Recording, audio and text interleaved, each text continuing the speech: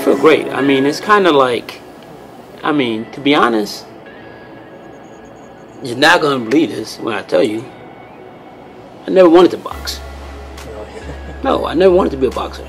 But what happened was, me and Roger was very close growing up, and so everywhere he went, you know, I followed.